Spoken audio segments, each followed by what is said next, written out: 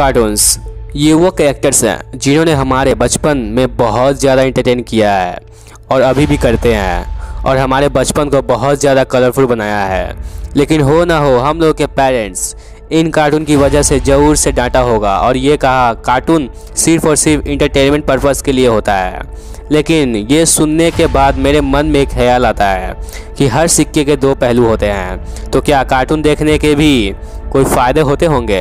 तो आज के इस वीडियो में यही जानेंगे। सो लेट्स बिगेन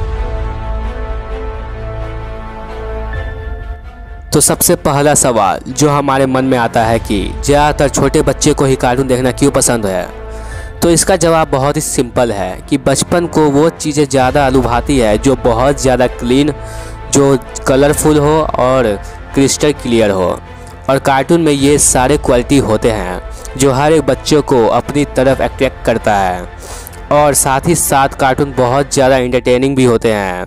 इस वजह से छोटे बच्चे बड़े मज़े से देखते हैं। और इसके जस्ट अपोजिट कई मूवी ऐसे होते हैं जो बच्चे के माइंड को साइकोलॉजिकली इम्पैक्ट कर सकती है। क्योंकि इस टाइप की मूवी बहुत ज़्यादा डार्क होती है और इस टाइप की मूवी बच्चे को दिखाई जाएगी तो बचपन से ही मेंटली डिस्टर्ब हो सकते हैं और इसका उन पर निगेटिव असर पड़ सकता है। इसीलिए ये मूवीज़ बच्चों को न दिखाकर कार्टून एक बहुत ही बेस्ट ऑप्शन रह जाता है।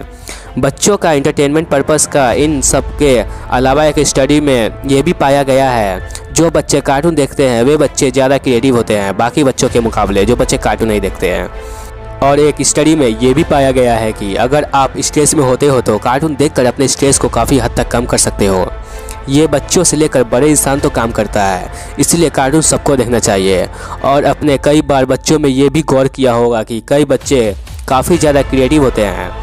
और कोई भी काम को एकदम ईज़ी तरीके से करते हैं। ऐसा इसीलिए क्योंकि कार्टून जो है एक फुल्ली कॉलरफुल होता है इंटरटेनिंग और मूड को रिफ्रेश करती है। अगर हम स्ट्रेस लेस और रिलैक्स फ्री होंगे तो कोई भी काम को जल्दी कर लेंगे, जो कि एक कार्टून को देखने के बाद महसूस होता है हम लोगों को। जैसा कि आप लोग जानते होंगे म्यूज़िक के बारे में हम जिस टाइप के म्यूज़िक को सुनते हैं, हमारा मूड वैसा ही होता है। फॉर एग्जांपल अगर कोई इंसान सैड सॉन्ग सुनता है तो वो स्ट्रेस में रहेगा डिप्रेशन में रहेगा। अगर कोई इंसान हिप हॉप सॉन्ग सुनता है तो उसके माइंड को अच्छा लगता है और उसको अच्छा सा फील होता है। अपने एक चीज़ और गौर की होगी, अगर कोई इंसान म्यूज़िक सुनते सुनते कोई काम करता है तो वो कोई भी काम को पूरी लगन से करता है और वो काम जल्दी करता है, बिना थके। ऐसा ही सेम कार्टून के साथ होता है। अगर आप कार्टून देखते हो तो आप मेंटली और फिज़िकली रिलैक्स फील करते हो। आप क्रिएटिव भी होते जाओगे, ऐसा नहीं कि दिन भर कार्टून ही देखते रहे। एक बात हमेशा याद रखना, हर सिक्के के दो पहलू होते हैं। जी हाँ अच्छा और बुरा, इसीलिए कोई भी चीज़ लिमिट से ज़्यादा ना करे, वरना वो जस्ट अपोजिट रिएक्शन करेगा।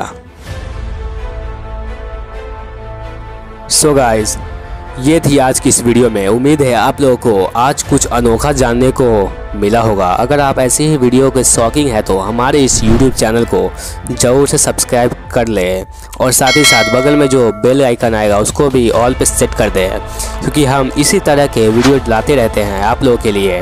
तो चलिए मिलते हैं किसी और इंटरेस्टिंग टॉपिक्स को लेकर। Thanks for watching guys